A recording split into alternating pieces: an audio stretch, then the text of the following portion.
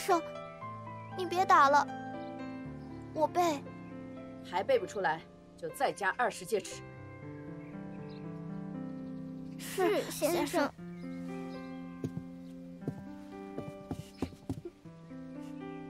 疼吗？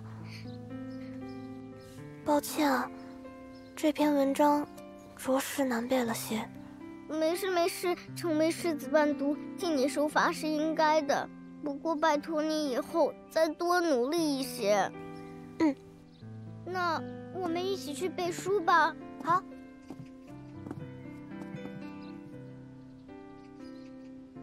看了许久，可是入了迷。母亲大人。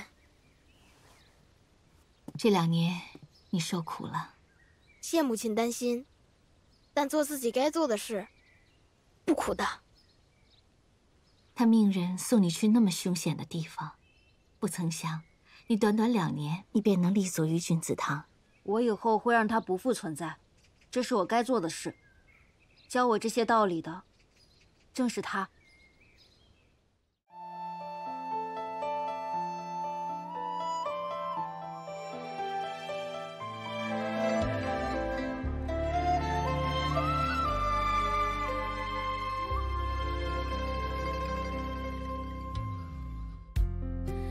生浮华不过是一纸流沙，情深折在油纸伞下，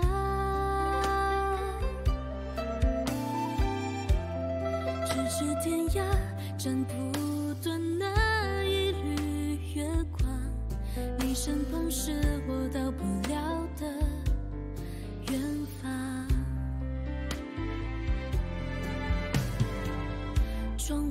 觥筹交错，琵琶声响，何人泛舟湖上，灯影摇晃。奔遍天下，不及此刻这一刹。我看过硝烟里的风沙，古城里的繁华，却想与你共白发。至少想看小桥流水，又到谁人家？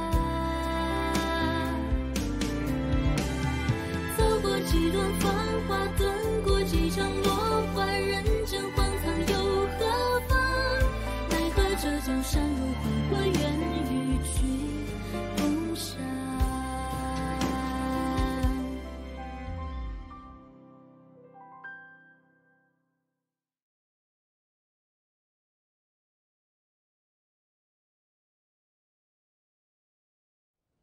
我原本以为他走了。谁知道，他去找我母亲了。这多少是有点自找没趣。这何止是自找没趣，简直是找死！母亲本来就看他不顺眼，天天想着法子去处置他。他倒好，自己找不痛快去了。你这关心，很明显嘛。嗯，我我有吗？嗯。不过你别着急，那个沈烨啊，绝对不简单。他那么费尽心思的进了你们舒府，现在肯定是要好好维护。没准儿他就去跟舒大人讲和了呢。可他嫁进来，一看就是别有用心，这太明显了。他说什么，我母亲都不会信的呀。你不会想说他诚恳坦荡吧？这两个词可是跟他一点关系也没有。虽然他这个人是多有遮掩，但我觉得他对你还是很真诚的。若我生在平常人家，只此一条便够了。可我身为舒家的世子，就不能如此思量。成，你有没有想过，可能事情不仅仅是我们看到的这样，还有我们不曾想过的。这才像他做的事儿啊。你说他哪件事情做的是在我们意料之中的呀？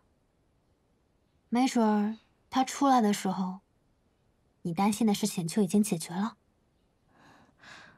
可我母亲明知道他是皇上的人，也会接纳他。慢点。好，都好，都好，都好。日后啊，责罚的事情就不要再提了。成儿做事出格，你要多提醒他，约束他。他若是有什么不满，你来找我便是了。谢过家主。叫母亲。孩儿谢过母亲大人。嗯，起来吧。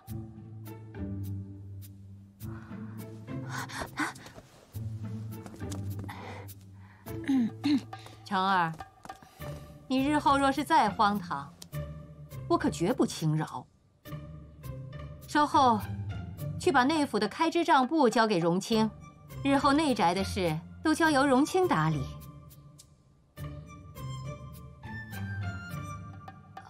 嗯，孩儿遵命。荣清啊，听说你厨艺一绝，我从礼部回来，定要尝尝。母亲大人放心，孩儿定不负母亲所望。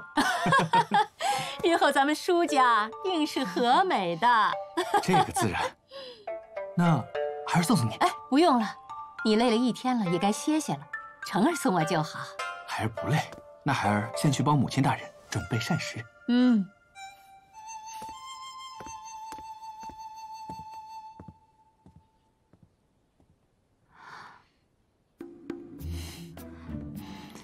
怎么回事？我怎么知道？母亲，哎，今日天气不错，心情也跟着好了起来。啊，跟荣清说，晚上一起吃饭。母亲，母亲这般和气，可是对沈夜动了杀意。是如何？不是又如何？还请母亲再三思量。孩儿与他并未再生情愫，况且他的背景复杂，绝无杀意。你要好好跟他过日子，对他好一些，省得你老师总在我面前念叨。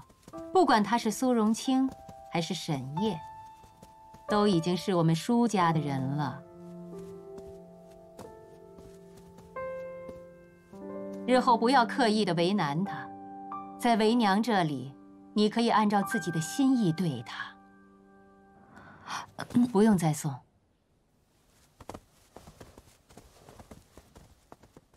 你有没有一种感觉？后背发凉。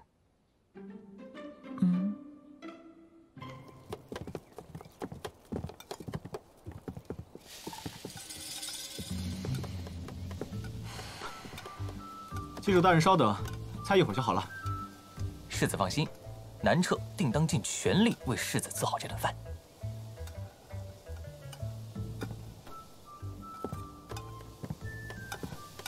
这顿饭反正也是给母亲大人做的，世子也未必会吃。你怎知我不会吃？这肚子里的问题没有一百也得有八十了吧？早就撑着了。你可是学了什么乱人心智的邪门本事？可是什么时候给我母亲下了迷魂药？那这顿饭总会有问题了吧？哎，世子放心，南彻绝对不会允许这种事情发生，放心哦。南彻的先祖曾经是宫中掌管玉石的，饭中下毒这种事，他是不可能做的。莫说是他，就算是我要在这饭中下毒，恐怕他都跟我翻脸。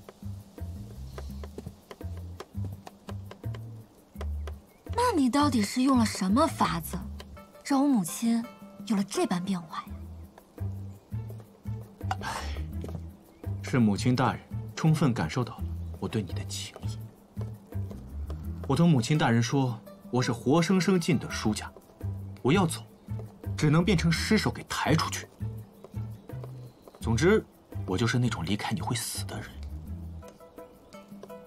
哦，如此一来。是我母亲被你感动到了。莫说是母亲大人，就连我自己都被感动了。祭主大人，有没有也很感动？我太感动了，别，你受得起，我佩服，我佩服。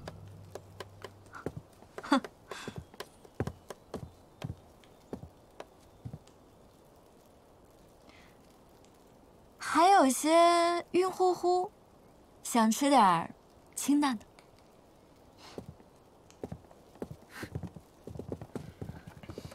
兄长，糊了。做你的饭去。哎，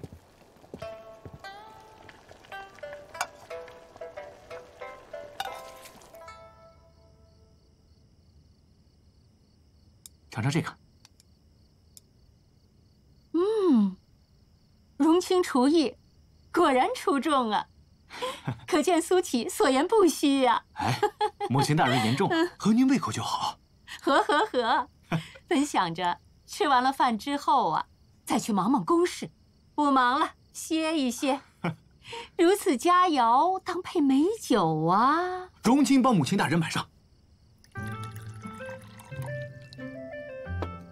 这杯，荣亲敬您。来，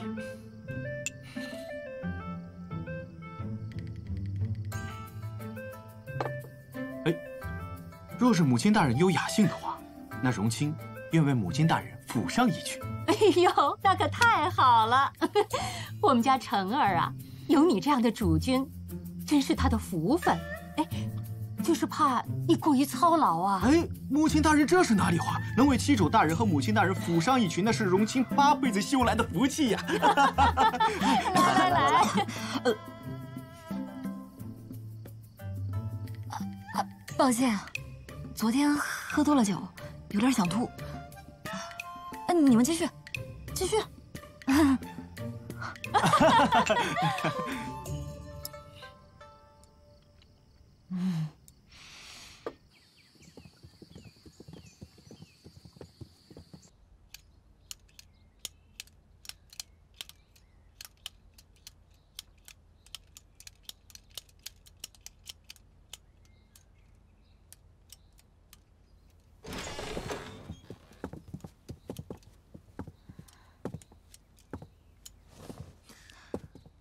已经在整理账目了，你倒是手快。哎呀，都是谨遵母亲大人的教诲，不敢怠慢。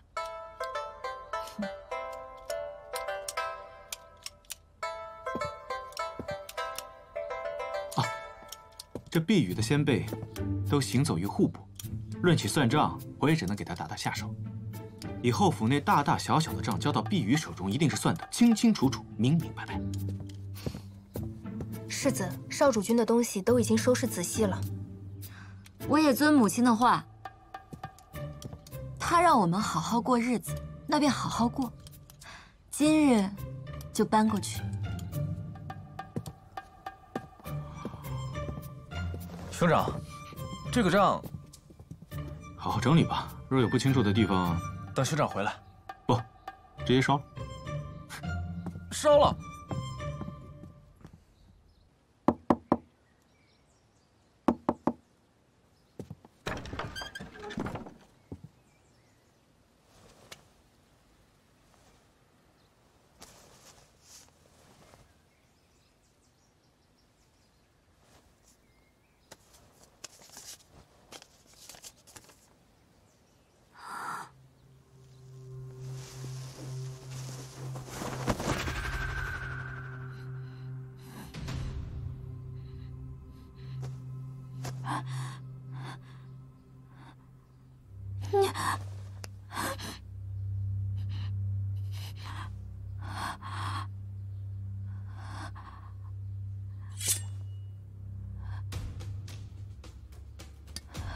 你死之后，就在这里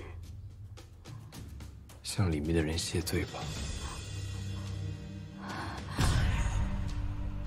我，我与你素无瓜葛，究竟有什么冤仇？而且。而且和这里面的人有何干系？你你为什么一定要对我下此毒手？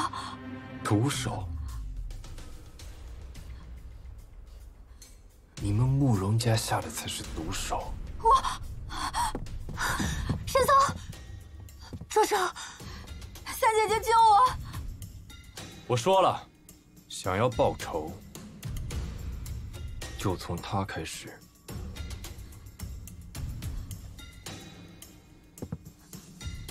要杀他的人不是我，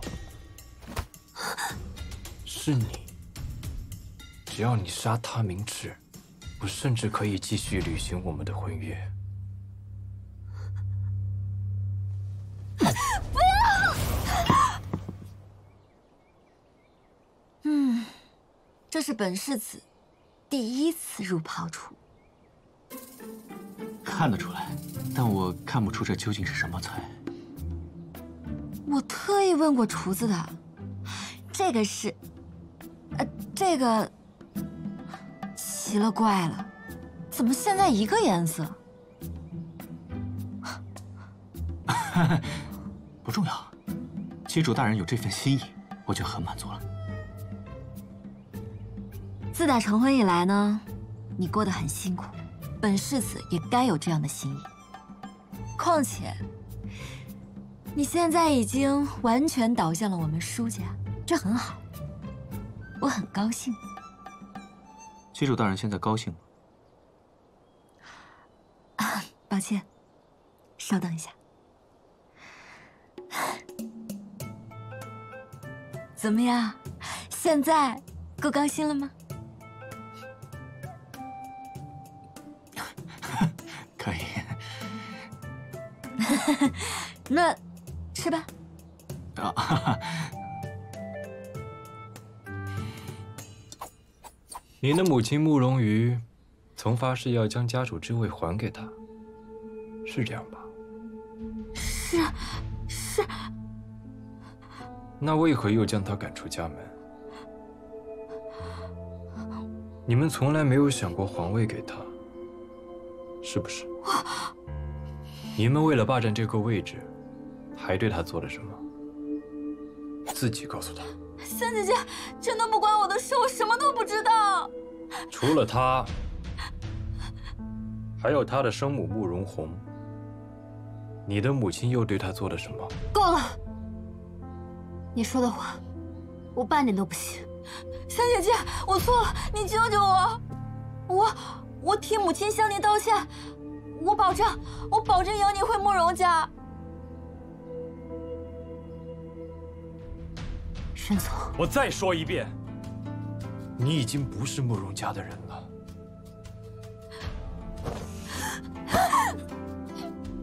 你若杀了他，先杀了我。你为了回慕容家，确实什么都做得出来。我就是想回家，我有错吗？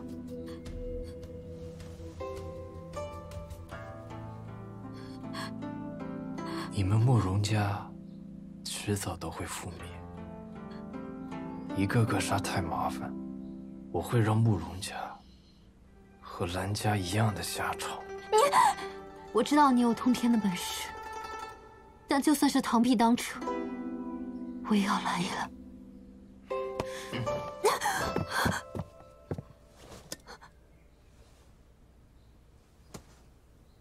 拿好。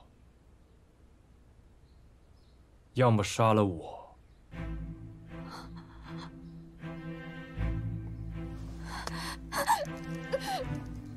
要么让我杀了他。沈总，你先把他放下来。杀人，你敢吗？不要逼我。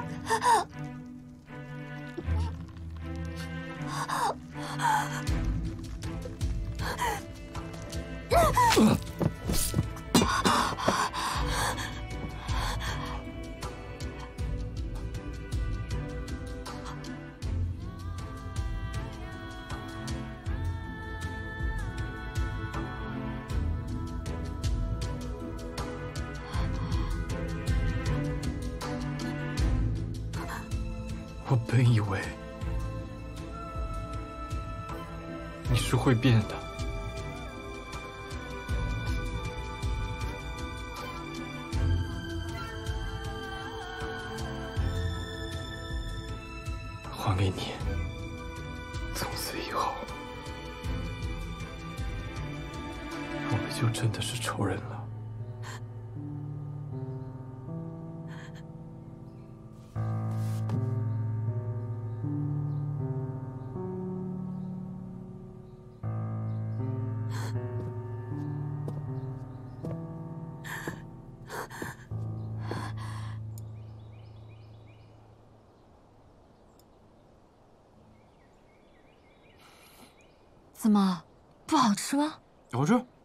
这是我一生中吃过最好吃的东西了。那就好，也不枉我的一番苦心啊。邱主大人，我觉得有些菜做熟了会更好吃。是吗？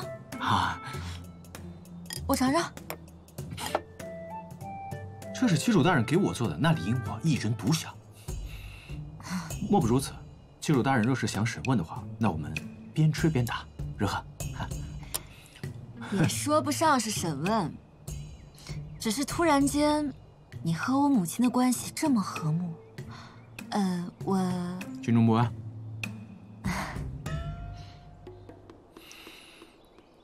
哪有七主大人会因为家庭和睦而心中不安呢？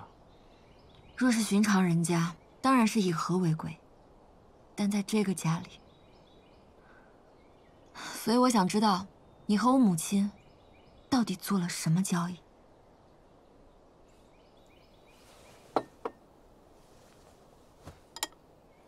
我是皇上的人，七主会恼我，而如今我跟母亲大人关系和睦，七主大人也会心中不安。你不想我站在皇上那边，对付舒家，也不想我站在舒家这边，略略皇上。因为皇上不会放过舒家，而舒家也必然不会交权。两虎相争，必有损伤。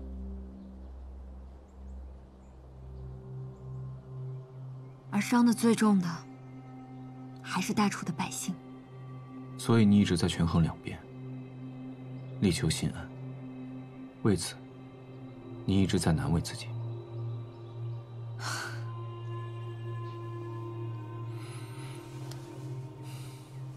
什么交易，什么立场，都不重要。重要的是我想做的事情。我想让你不再左右为难，不再顾及旁人，只活出自己想要的样子。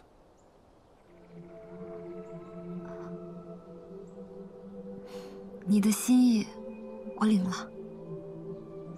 但是这件事情太难了。难的事情不交给我，你还指望谁呢？如今母亲大人那边已经不需要担心了，而皇上那边，我也自有安排。而你，只需要按照自己的方式生活便好。相信我，我能做到的。只是现在不成了。七主大人切记，以后做饭真的得做熟。哎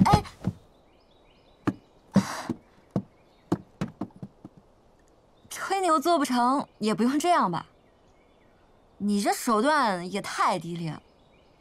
不过有你这番话呢，我还是很开心的。侯渊，去给他把府医请过来吧。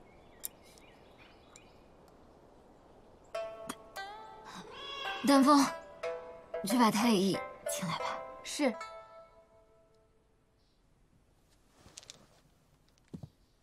很好，做得很好。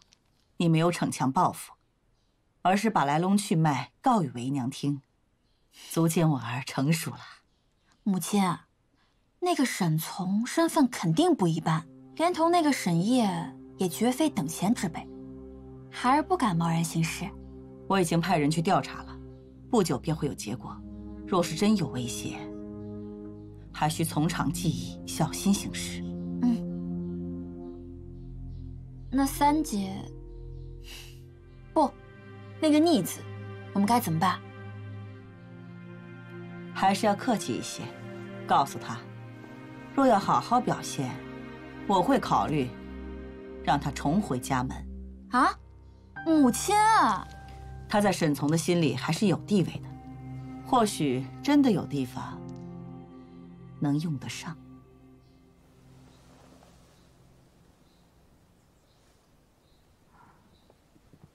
你的伤好些了吗？皮外伤，不打紧。谢谢你们的安排，我可以回慕容家了。虽然迂回了一些，但或许更有趣。冤有头，债有主，我是想报仇，但是我不会祸害家门。对呀，事后你还要做家主呢。其实，只要报了仇，慕容家与兰家的恩怨便清了，你我之间并无阻碍。慕容家和我们之间的婚约，你只能选一个。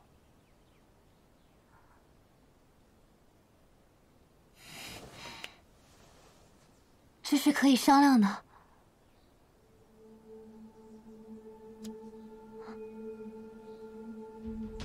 你既然态度如此坚决，为何又要来见我？或许，我想让你再选一次。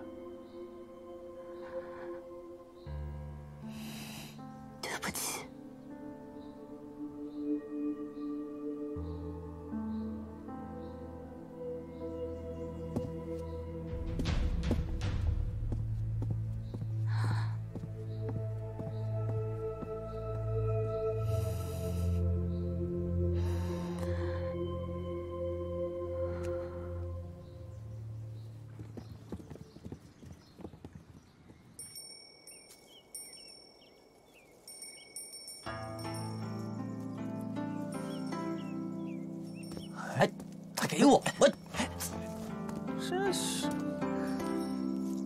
我们好像许久没有这么整齐的聚过了。兄长未恙，我们自然得来照顾。嗯，只是沈从这琴弹的烦乱的紧，并不利于兄长静养。哎呀，抓紧时间干活吧，管别人做什么呀？是是。哎，我不要，不要。事情都做完了。其实他做慕容家的家主，只要他还是慕容家的人，我们就势不两立。即便事成了，也只不过是陌路人罢了。反正，他选择了家主之位。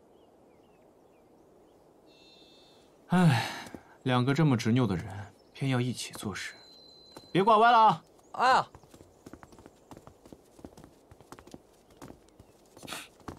见过七主。好些了。好。哎，好些了，但是还不至于到尝试第二次的地步。这次给你准备的不是吃食，也不能完全怪我。我也不知道有些食物还有相克这一说，哪些不能生吃，哪些不能生熟相伴。况且是生是熟，我也是分不清的。啊，嗯。啊，好了好了，不提了。这次给你煎了药，有人指导，保证安全。来。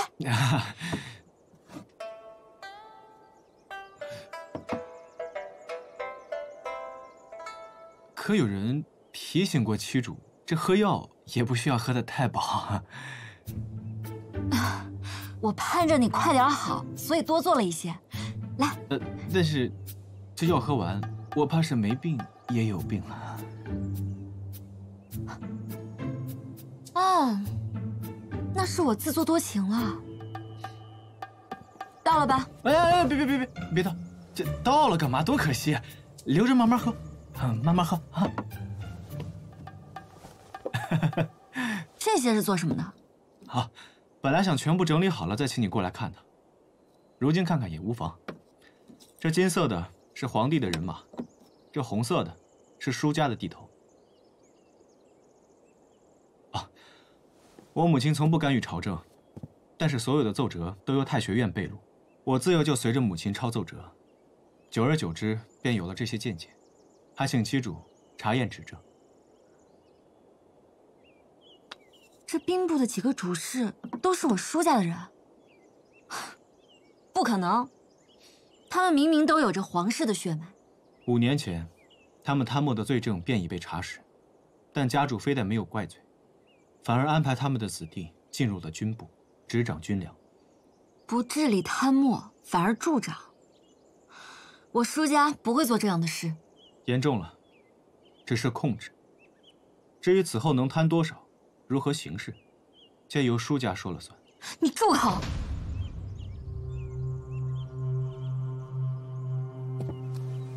相关的折子和调动都在这儿，联系起来，便能洞悉一二。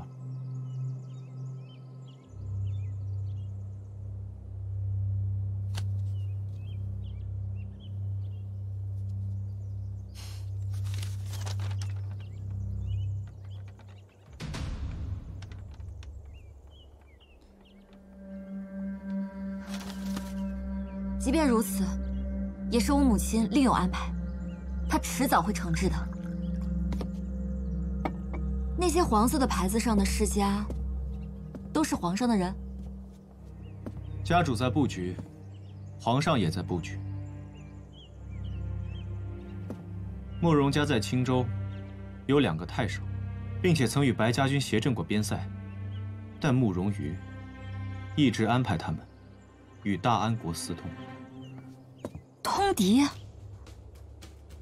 皇上是知道的，且皇上也肯定，权臣养寇，皇上也可以，并且上次大燕国绑架你的事，慕容家也参与了。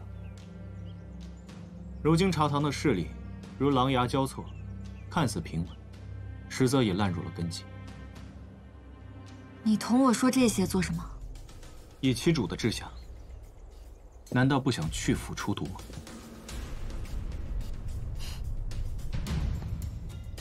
我当然想了，可是既然想，那就做。我同七主一起，如何？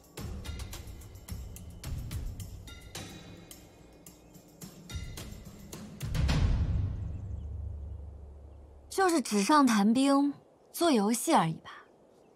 是对弈，是较量，也是下棋，总比在内官面前假装恩爱。受我撩拨要强很多吧？你还敢说？当着内官的面，你竟然敢拉着我肆意朝政？内官，此事我与七主大人在做什么呀？世子与主君在修沐恩爱，树下许愿，为陛下和百姓祈福，绝无僭越之事。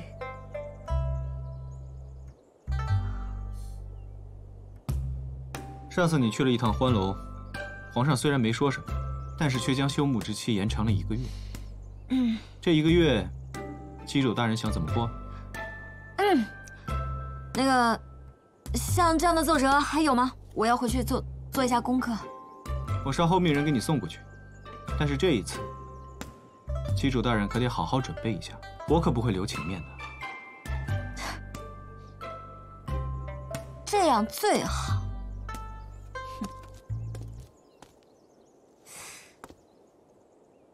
你没有背着我做别的事吧？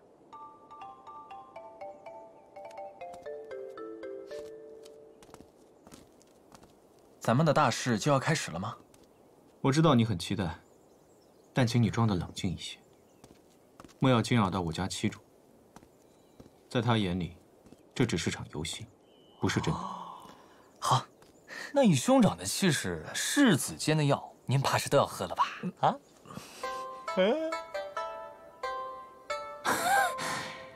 说得好，你喝。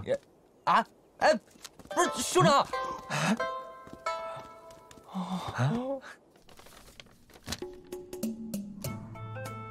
啊，你在探要看的东西太多了吗？是很多，唯独这件不用。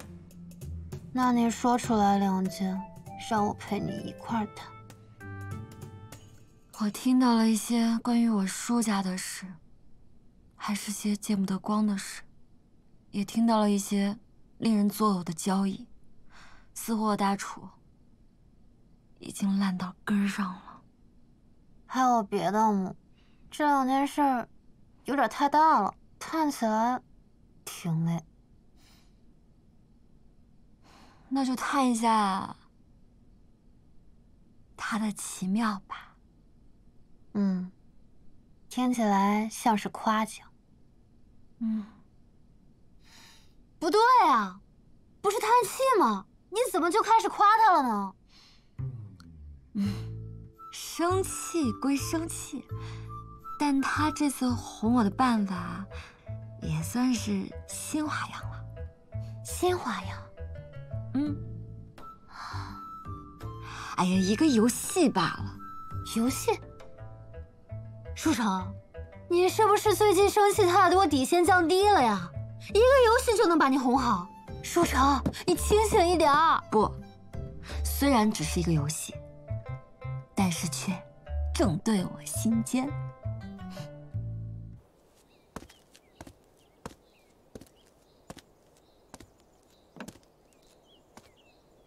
参见七主。准备好了吗？我们这就开始吧。旗主不必如此紧张，这只不过是一场游戏。我当然知道这是场游戏，但你也说了，不会留情面的，所以我自然要认真一些。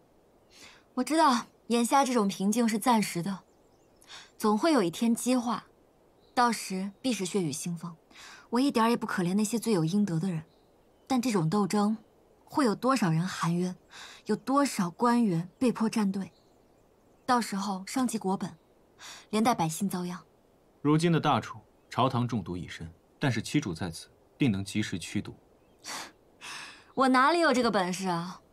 我就是不想看到那些奸佞逍遥。我做不了主，控制不了局面，如今也就只能在这里纸上谈兵了。七主无需多虑，就当是提前积攒经验。这游戏怎么玩啊？他们就是那些只想做事，不想争权的清流，还有一些未入仕途的世家弟子、各院学子。白色为清流，红色为书家，黄色则为皇家，以朝堂为举，这些为棋子，重新布出一个清明的局面。但是切记，一定要维持平衡，既不让自己失势，也要给对方留有余地。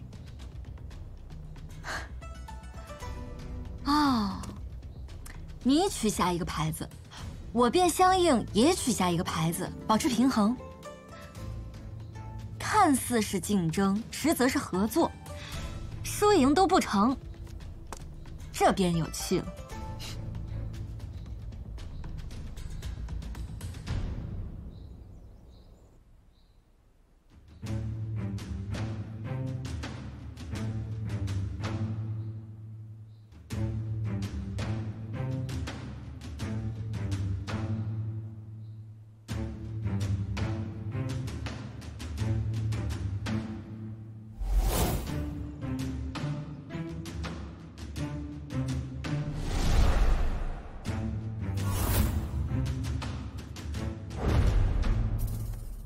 本以为此人可信，可以一试。老臣认为此事不可，还请陛下三思。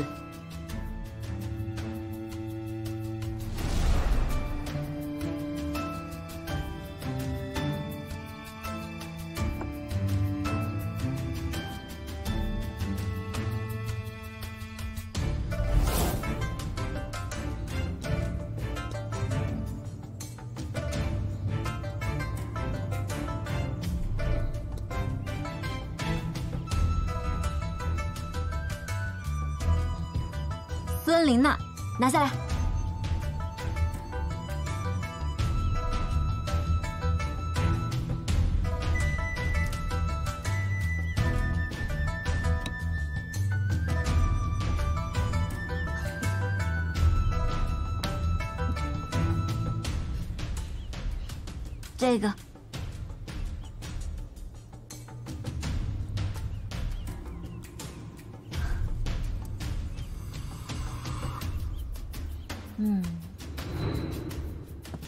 陛下，青州刺史一事，还望尽快定夺。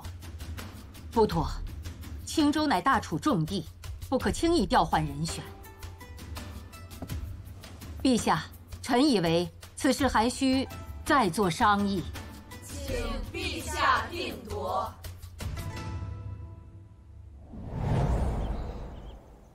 嗯，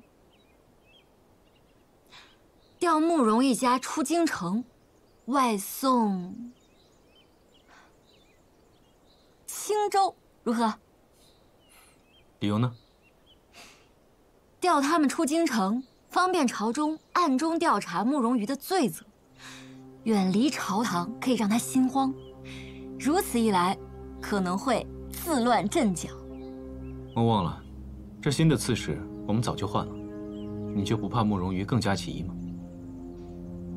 新刺史是嘉诚侯的后裔杨禄，此人虽有着皇室血脉，但是出自太学府，为人刚直，不属于任何一派。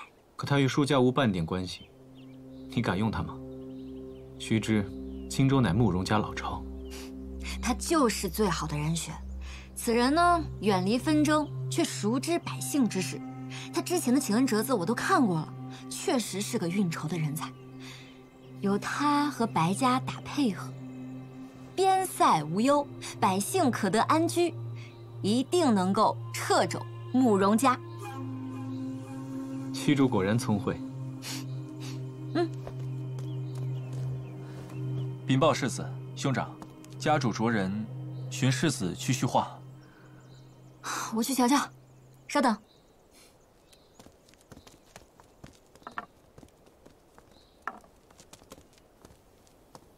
家主好像有些着急。才刚过两天安心的日子，又得挨骂。去请三小姐过来吧，也差不多该开始了。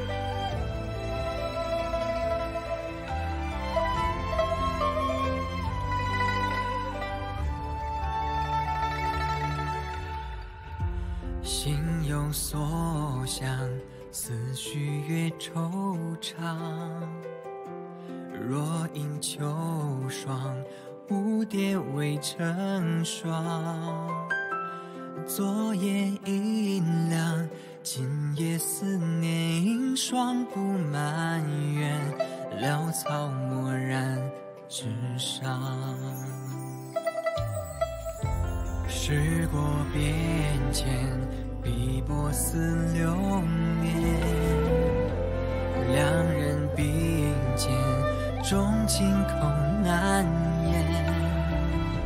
世间繁华，终究只是过往的云烟，唯有你在心间。星空下，你闪烁的眼，与月光交接。愿此生并肩，将时光篆刻成诗篇。我只属于你，翻越千万。怪想念太后知后，觉我情愿沦陷，你白衣胜雪。